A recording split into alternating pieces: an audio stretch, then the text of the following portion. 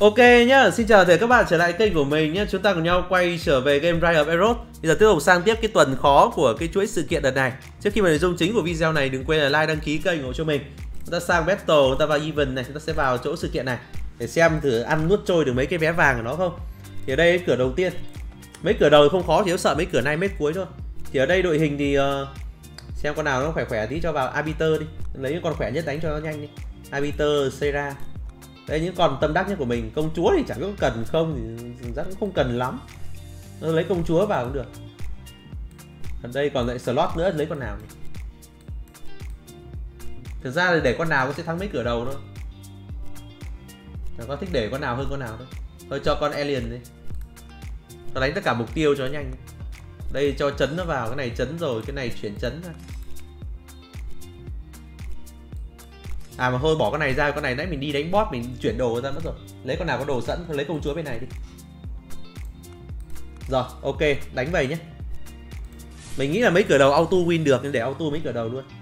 Mấy cửa sau khó quá, người ta đổi lại đồ sau.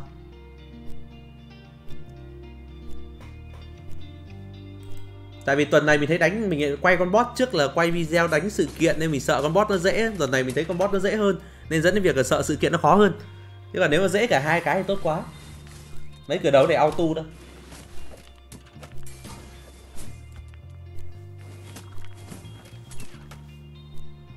Để mấy cửa đầu cấp nó cũng thấp nên đánh nó nhẹ nhàng đó. Ăn là mấy cái vé đầu rất là ngon Chỉ nó có một hai cái vé cuối. Thì thường như thông lệ thì ba cửa cửa nào sẽ có pha lê xanh khi qua lần đầu. Và ba cửa đầu thường sẽ là một vé. Ba cửa tiếp theo sẽ là hai vé Và ba cửa tiếp theo nữa sẽ là ba vé. Nên sẽ kiếm được khoảng mấy chục vé đấy xong đi gacha một chút, ra tướng thì sướng, không ra thì thôi nhé. Đấy, bây giờ tới giai đoạn này cũng không ham hố nữa. Và như đợt này sẽ để pha lê xanh chuẩn bị cho kia thôi. Tại trước mình cố đợt trước quá nhiều rồi. Đợt này cố tiếp rất là rủi ro.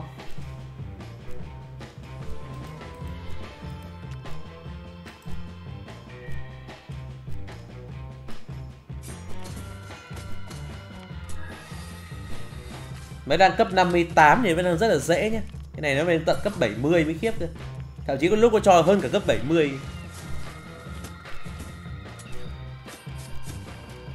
Đang rất là nhẹ nhàng, gần như đánh phát là chết thôi. Bắt đầu chuyển sang cái chế độ này bắt đầu có hai đội quân rồi.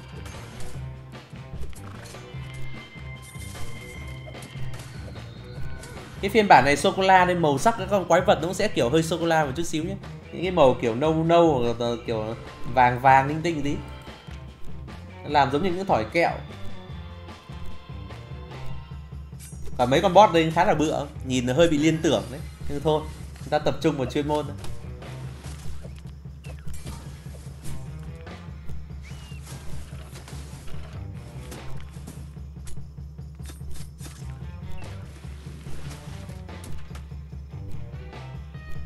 Vẫn đang rất là xuân sẻ, bây giờ chuyển sang chế độ khó nhé. Bắt đầu tăng lên chế độ hai vé vàng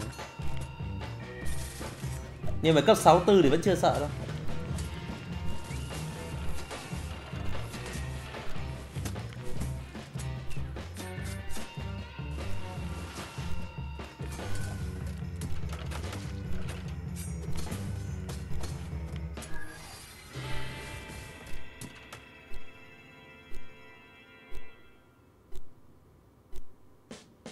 tiếp tục sang tiếp cửa tiếp theo nhé. Cái số vé vàng tăng lên một số pha lê xanh qua một cửa vẫn là 50 Lên cấp 66 rồi. Tưởng cái đội quân 1 thì cấp nó thấp hơn, đội quân 2 sẽ cao hơn chút xíu. Nên gần như nó sắp sửa bằng cấp mình rồi. À phát này đội quân 2 vẫn là cấp 66, mình tưởng phải tăng lên 68 rồi đấy. Nhưng vẫn là 66 Vậy để hai đội quân nó bằng cấp nhau. Chưa có gì khó cả nhé. Chắc là nốt cửa số 3 sang nay mới bắt đầu mới cao cấp lên bắt đầu mới khó Rồi ta sang tiếp cửa số 3 của chế độ khó này. Lên cấp 68 lại lên sang chế độ khó sẽ lên cấp 70 nhé. Và thậm chí là các cái cửa khó tiếp theo sẽ còn lên 72, 74 cấp. Nếu cứ tăng hai cấp một cửa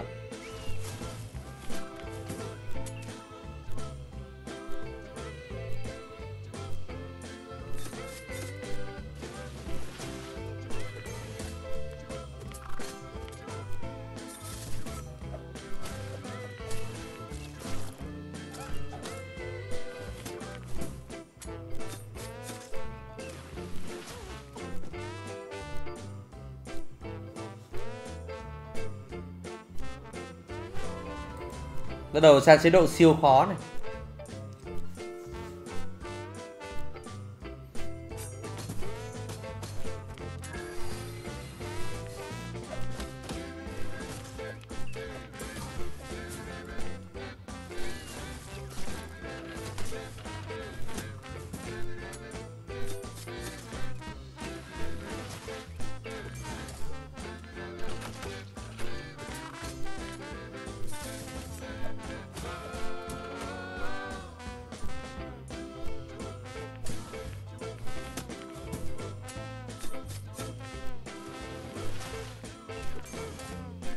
Này cấp 71 rồi.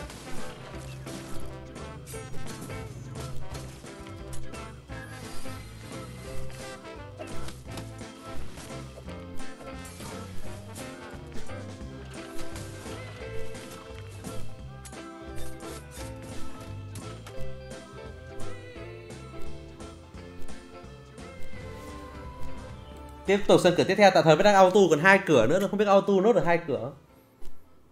Đây, cấp 73 rồi. Một mình công chúa đứng với ba con thỏ đen rồi. À bốn con nữa. Giết là công chúa sớm có lợi thế rồi Có vẻ chưa khó nhỉ. Không biết cửa cuối có khó không?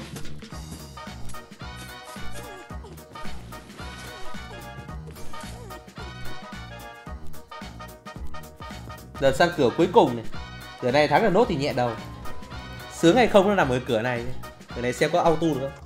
Cửa này nó có hai đội quân.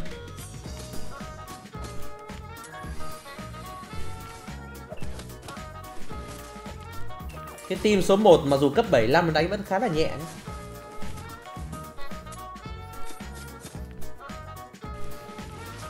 Giờ sang team số 2 chắc là hai con nhân vật mới Đấy, hai nhân vật mới thì cùng hai con thỏ đen.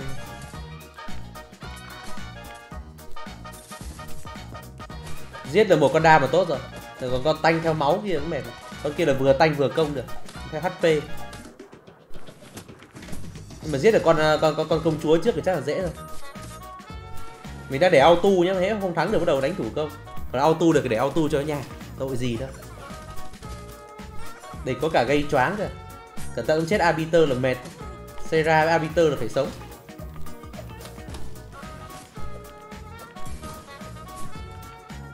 Công chúa búp búp búp giáp lên và nó vừa né tránh là tốt rồi. Cố nào, nó sắp chết rồi, cố lên nào. Cái lớp giáp nó vừa cứu cho cái arbiter phát. Ok, ngon rồi, mỗi con tỏ ôi phát này coi như là auto được hết rồi. Đấy tuyệt vời rồi. Vậy bây giờ vấn đề chúng ta sẽ đi xem gacha ra cái gì không nhé chứ đánh vậy coi như là win hết rồi cái gì nữa. Ok nha mùa này đánh là thuận lợi nhé ăn trong full vé rồi. Trước thì như có làm ờ, ủy thác nó cho một hai cái vé vàng gì đấy. Bây giờ ra xem được bao nhiêu lần, chắc được khoảng tầm 20 lần thôi chắc chưa chắc đã được 20 lần ra kiểm tra bao nhiêu vé? Có 20 vé vừa khít luôn. À, một vé từ cái ủy thác. Với khoảng tầm 19 vé từ sự kiện thì phải. Đúng không nhỉ? 33 là 9 9 với lại 6 là 15 15 với 3 18 à? Đấy, chắc là hai vé bên ngoài. Không biết có nhập nhầm không? Tôi kệ đi. Thôi quay về đây quay nhé. Thì ở đây mình sẽ quay được hai hai lần x 10 thôi. Quay hết hai lần x 10 thôi. Ra thì vui không ra thì thôi nhé. Coi như lấy tích điểm vậy. Tại đang có hơn 200 tích điểm rồi Đợt này không có cố nhiều nên banner này gần như chỉ quay nốt phát này thôi. Không không, không có cố quay thêm nhiều ngày nữa. Nó ra được thì tốt không ra thì thôi. Phát này hụt rồi. Tia hy vọng cuối cùng nhé. Phát này không ra nữa thì thôi nhé. Mình có pha đen xanh nhưng mình để dành cho ghi nên mình không không quay cố. Tại vì xác định là không lấy được nhiều sao thì thôi cũng chả lấy làm gì. Cứ từ từ. Tại banner trước vừa cố mấy phát bảo hiểm rồi Mệt lắm. Phát này nổ không?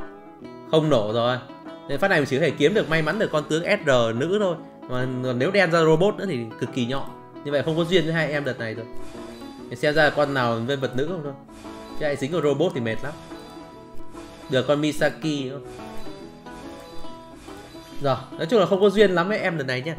chúng ta sẽ đi vào đây nhận tí cái vé bảo hiểm nữa cái vé thì như là thêm 10 vé trắng này này À nhưng mà có thể quay cố thêm một lần nữa nhỉ? Tại vì mình uh, như mình chưa dùng hết cái lần đổi vé vàng sao Lần trước mua nốt cái uh, cái cái thẻ tháng còn dư mấy cái kim cương đỏ này. Mình kiểm tra lại tí cái chỗ shop này. Sang bên chỗ tháng này. Đúng rồi, mình vẫn còn mấy lần đổi đây này. Đổi thêm được 5 vé nữa. 5 vé nữa vậy có nên hy sinh tí để cho nó tròn không ta? Mình có cái đổi nào khác không nhỉ? Tất cả cái đổi vé vàng hết rồi. Mà đợt này vậy thì, nếu không thì cho cho tí pha lê xanh, cho tròn lần x10 cũng được. Cho nó gọn đi. Tại vì đang năm vé nó lẻ quá. Xem có chỗ nào có vé nữa không? Để các shop khác gần như không có. Không? cái gì đổi được vé đổi hết rồi cho thêm nốt một lần x10 nhé. Năm vé chỗ này mất thêm uh, bao nhiêu nhỉ? Thôi cho tí pha lê xanh cho nó gọn luôn nổi nổ thì vui không nổi thôi nhé. Cho tròn hết vé thôi. Không dính không ra cái gì cả. Chán thế.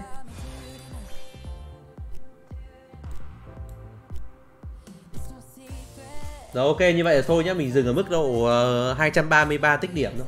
Thôi coi như chờ duyên con sau đi. Còn bây giờ còn tí vé trắng hay sao ấy? Nếu còn tí vé trắng thì quay ấy nốt đây nhận thêm tí cái vàng chỗ này. Như vậy tổng đợt này mình quay là 60 lần. 60 lần và không ra là con nào. Mặc dù chỉ còn 40 phát nữa là nổ ấy, thực ra là cố nổ phát thì cũng nổ đấy nhưng mà thôi, chả cố đâu. Trừ khi nó có cái cốt hay cái gì đó nó tiền cho vé vàng hay tiền giàu có lên có vé thì quay cố chứ không thì thôi, dừng này nhé. Đấy, cái này cũng chỉ nói chung chung vậy thôi, tại biết đâu tiên mấy hôm nữa lại nạp thì sao, đúng không? Thì chả biết được. Còn nếu không nạp thì chỉ dừng bước này thôi. Kệ 40 lần thì 40 lần nói nói vậy thôi 40 lần là bao nhiêu vé nhỉ? Một lần x 10 là một nghìn tám thôi vì bốn lần lên nó cũng phải một, năm, sáu nghìn khi nói chung là cố thì vẫn cố được, nhưng mà nó sẽ hết, nó không còn vé cho, không còn pha lê xanh như mình quay cái kia nữa. Còn bây giờ sang banner thường tí, như có, đây có 24 vé, quay tí banner thường, sắp nổ bảo hiểm rồi quay tí banner thường đi kiếm thêm mấy con trùng nhau nâng nốt mấy con cũ cũ cho lên 6 sao đi lâu quá. Thì cái banner này nó nó được ờ, bảo lưu bảo hiểm ấy. Cái quay dần dần tích dần dần đó đợt này không ra tướng nên là mình cũng chả có hy vọng gì vào cái chỗ chấn cả vì đằng nào không có tướng lấy chấn chả làm gì ấy. Nên thôi cứ lấy tạm vậy. Quay thêm phát nữa nhé quay nốt 10 phát nữa ra thì tốt không ra thì thôi. Không ra thì, thì cái bảo hiểm nó bảo lưu được liên tục ấy. Thì về sau bao giờ nó đủ nó nổ nữa để xem về sau nổ kiếm nốt. Ví dụ như mình đang muốn kiếm nốt cả con uh, loli nữa con ờ, uh, Rid Rider nữa vì cái đấy mình có chấn mà mình không có tướng. Phát này có vẻ không có duyên lắm rồi. Rồi ok như vậy là hôm nay có vẻ gacha thì không may. Đánh thì rất là thuận lợi nhưng mà gacha thì chán quá. Thôi như vậy còn lại được khoảng tầm 4k pha lê xanh. Xong cứ tích tích tích rồi chờ tiếp banner ra để tính tiếp. Kiếm thêm chút gear trước thôi. Tướng bây giờ không lên được sao khổ lắm cái tích điểm thì được hơi hai trăm mấy này, gần như con sau nếu là sử có ngon thì lấy một con về thì cũng lấy được. Nhưng mà lấy nhiều không lấy được. À với lại bây giờ thôi, hôm nay chắc là hoàn thiện nốt con loli đi. Lần trước mình quay gacha đen quá, toàn ra con con loli này. Thế thôi, hoàn cảnh số đẩy đành lên nó ba sao nhé. Mình vào cái tích điểm, mình đổi nốt lên ba sao đi. Vào store đi, vào cái chỗ điểm ấy đi. Đây, vào đây sang bên chỗ bên này. Mình đổi nốt con loli lên cho xong 3 sao đi. Để cũng chả làm gì nữa tự nhiên lại thêm một con búp máu nữa. Thì nâng lên 3 sao nữa. thực ra thì con nào cũng ngon thôi nhưng căn bản điều nó không đúng cái con mình mong muốn thôi chứ còn thực ra nó vẫn hữu dụng mà. Nó cũng là thuộc những con búp máu thế hệ mới. Nâng cấp lên chút xíu. Thì là xác định hai con mới không đủ được rồi thì đành nâng con cũ thôi. Con này nó búp nó tăng được cả sát thương cả cả sức thủ lên. Nó búp nó kiểu nó toàn diện hơn một chút xíu nó còn làm gì nữa không nhỉ? Nâng xong cũng chả biết có nên đánh nữa không? Ví dụ ờ, thử cho nó vào trong đấu trường đánh thử nhé mà dù cho đấu trường sợ thua ấy, nhưng mà thôi cho đánh thử nhé thì con này đánh theo đồ theo atk đúng không? Xem qua mấy cái chiêu thức của nó này nó vẫn dựa trên atk chiêu này cũng atk toàn atk mình lấy một set atk qua nhé atk lấy set nào bây giờ nhỉ? Chả có set nào atk cả.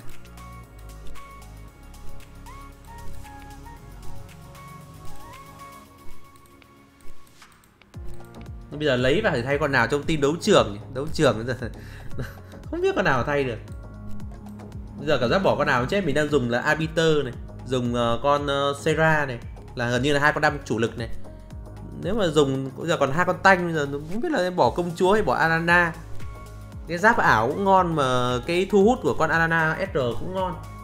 Giờ lắp con này vào không biết là thay con nào. Khá đau đầu rồi đấy luôn con này con nào ấy nhỉ? Rồi lấy tạo con công chúa để sang tạm đấy. Mình lắp thử chơi chơi tí xem thử uh, thế nào, sợ chết luôn ấy. Cái này thực ra con này dùng ấy, thì dùng cho đấu trường 3v3 thì xác suất sống cao hơn. Dùng đấu trường thường sợ chết sớm lắm. Mình đánh thử tí xem qua tí. Đây, ví dụ mình đánh thử hạng 6 đi. Mình thử cho con rất chắc lăn tăn bây giờ thay con áo bây giờ. Thôi, thay tạm công chúa ra, cho tạm con kia vào búp nhé đây, lắp con này vào. Nó lắp cái chấn nữa vào. Cái này mình có chấn. Chấn nó vào cái hình cái chui cái cái này, cái trống này. Đánh thử nhé. Nhưng mình nghĩ là dùng 3v3 hợp lý rồi đấy. Dùng cái đấu trường này xác suất chết cao lắm. Nhưng đánh thử tí cho biết thôi. Biết đâu lại mạnh đột xuất nữa, mà chắc là không kỳ vọng được. Thì đa số có thể, nhiều khả năng có thể nó chết trước khi nó kịp ra chiêu ấy. Được, cái phát này mình ra thu hút địch sớm thì may ra nó sống được nhưng mà đánh như mũi thì à lúc nãy đánh trúng vào cái cái cái cái cái ấy nhỉ? Đánh trúng vào cái bất tử của con cáo. Nhưng mà con này thì tanh họ trâu lắm, đánh không nổi rồi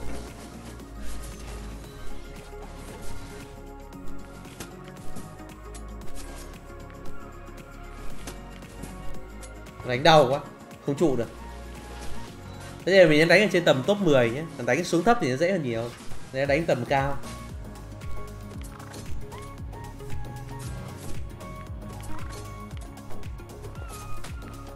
May mà con Alana nó tanh bớt cho con con, con Loli mới sống được mà búp một tí đấy Như Arbiter đánh tất cả mục tiêu là con con búp máu mình chết ngay ấy mà.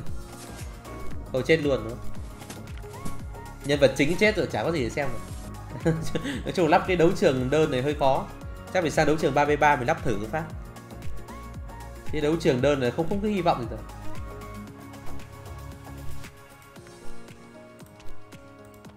Cái này mình lắp lại con kia vào.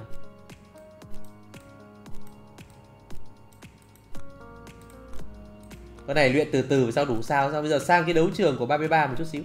Cái này chắc mình phải thay đồ sang tí. Mình thay đồ con này ra đồ này nó vứt ở chỗ con khác thì lắp vào lại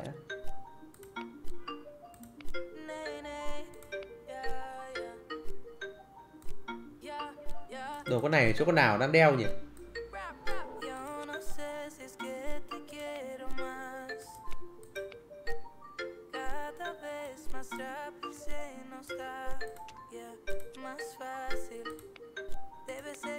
Nhiên trước đấy bộ Harvest Moon.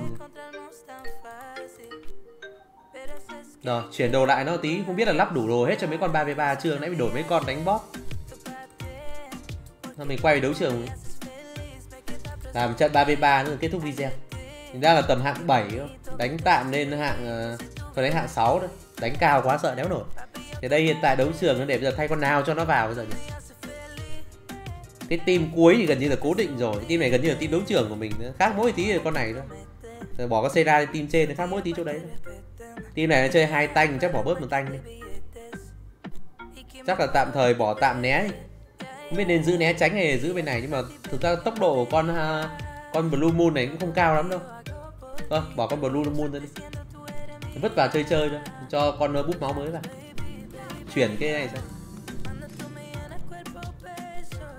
Rồi đánh thử nhé Mình đang chơi theo chủ trương là hy sinh team 1 Bổ sung hai hay team sau. Lại quay về cái thời chơi hang bút máu cùng một team. Xem có win được cái trận nào không? Xem nốt trận này chắc kết thúc video nhé. Tại vì nội dung chính thì đi cái sự kiện hôm nay thì cái map thì tương đối là dễ. Map thì tương đối dễ với cái nick của mình. Là tương đối nhẹ, auto được hết từ đầu đến cuối. Còn gacha thì đen, không không ra cái gì cả.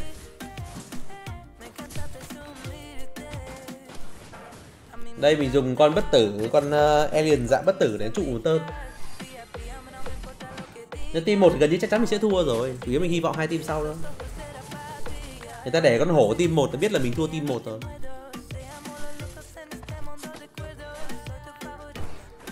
Nó quật phát chết một con thôi. Tại đấu trường 3v3 mình chỉ cần thắng hai team thôi mà.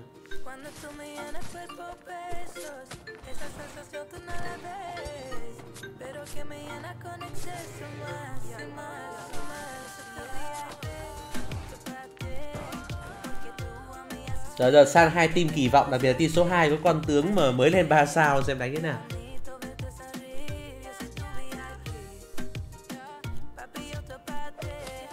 Thôi mình ra đòn sau rồi.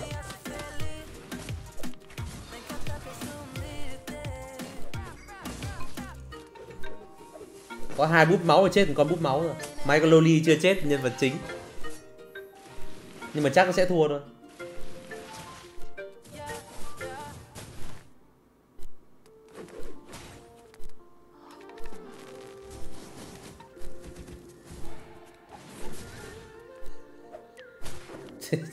chết sớm. Thôi vẫn chơi tanh như cũ cho nó khỏe. Đánh vầy đấy yếu quá. Này thua chắc chắn rồi. Hai team đầu thua luôn rồi còn đâu Ồ, né tránh và sống ngây thêm tí xíu. Nhưng mà chắc vẫn thua thôi. Trừ khi ăn may né liên tục. Mà khó né liên tục lắm. Mình xe ra mình xe ra nào đỏ hơn bắn không chết một phát luôn là mình thua rồi. Mình sửa là ôi rồi né được phát à? Nhưng mà vẫn, vẫn sẽ thua thôi. Ít máu quá. Nếu mà trận này nếu mà xử mình cho lại con uh, nếu mình cho lại blue moon mà xem thử xem có thắng không nhé hay là vẫn sẽ thua nhé đây bây giờ thử thử đốt phát nữa. Tại mình chỉ ăn cái quả top 10 thôi mấy top trên hay bị đánh xuống á. Ở đâu lại bay mất bạn hạng 6 rồi không thấy bạn hạng 6 nhỉ phải đi làm mới. Làm mới qua một chút xíu. Đây bạn hạng 6 này. Bây giờ mình thử lại tí, mình quay về team cũ bỏ em này thôi. Nói chung mấy con mới khó chơi vãi trưởng đấy. Đây, cho lại em cũ vào. Nghịch chơi chơi chút xíu sao team một thì chắc chắn là vẫn sẽ thua rồi. Thì xem thử team 2 xem là thêm con tanh nữa vào có được không. Nhưng mà con con tanh thì tốc mình hơi thấp, thì mình không thu hút được nó sớm đâu nên có thể vẫn sẽ chết luôn.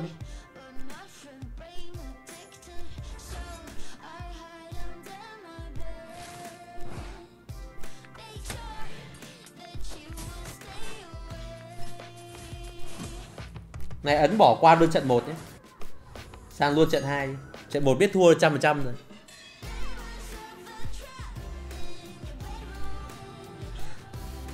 Đấy bản tốc con xây cao quá, Vẫn bị chết mất con bơm máu.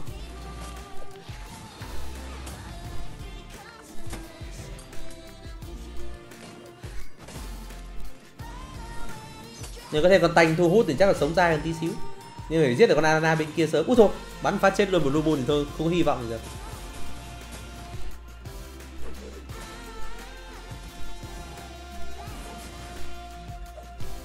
Xây này khỏe quá.